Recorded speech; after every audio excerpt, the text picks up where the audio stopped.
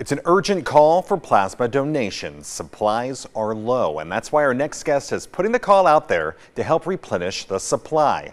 Johnny Sandberg is the center manager with Grifols, a global healthcare company. Good morning, and how's it going? Good, thank you. Thanks for having me, everybody. Of course. So, Johnny, let's go ahead and start with the basics. What exactly is plasma? So plasma is uh, a part of the blood that we take and we separate. So plasma is specifically the water portion of the blood.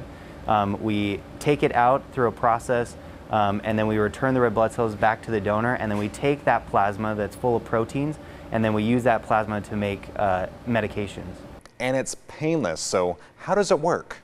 So the painless process uh, is pretty smooth. What happens is we have a, a donor come into the center. Um, it's a single uh, process where we have the, the needle stuck into the arm. The process will draw the blood out and then we will return the, the blood after the process has separated the plasma from the blood. Um, and then once the process is completed, then we bandage up uh, the person and they're able to leave. And like so many other things, COVID 19 has impacted donations. How so? So, everyone has been affected by COVID-19 um, and plasma donation centers are no different. Um, however, what we've done um, is we have been able to implement some extended uh, cleaning specific procedures to be able to uh, make it safe for both our donors and our patients. So specifically with the pandemic, we've had a, um, a lot of uh, procedures that have been um, changed, such as um, our are changes in the social distancing um, and then temperature taking at the doors and then also uh, extended questions. And so what we've done with all of that is we've ensured that the safety is our top priority and then we've ensured that we've, we've taken those priorities to our donors and our patients.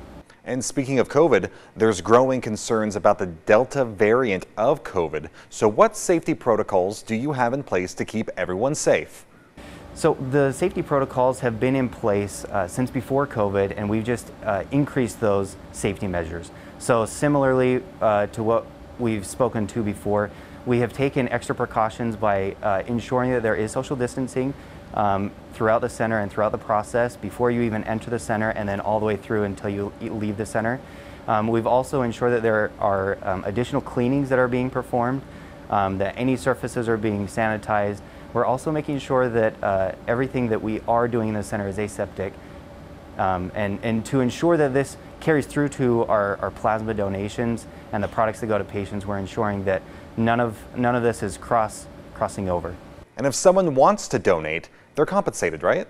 So donors are compensated for the time that they spend with us. Um, the reason for that is the process takes longer than blood donation. Um, and so part of what happens is uh, the process takes about an hour and during that hour uh, what ends up happening is uh, you know the donor is screened, they're asked questions, we take their temperature and then we make sure that they are comfortable. Um, they go through the process very smoothly but because of the length of time we do make sure that we compensate our donors uh, in a way to say thank you for their time and also for their donation. All right, so where can we go to get started? Any donor or anybody who's interested in becoming a donor can go to grifolsplasma.com um, and they can find all of our uh, locations. We specifically have three locations in the Las Vegas area. We have one on 3250 North Las Vegas Boulevard. We have one on Civic Center in Lake Mead. And then we also have one uh, down on uh, Bonanza and La Las Vegas Boulevard. All right, Johnny, we'll talk to you again soon. Any donation is very helpful at this time, so for more information, just head to grifolsplasma.com to find the location nearest you.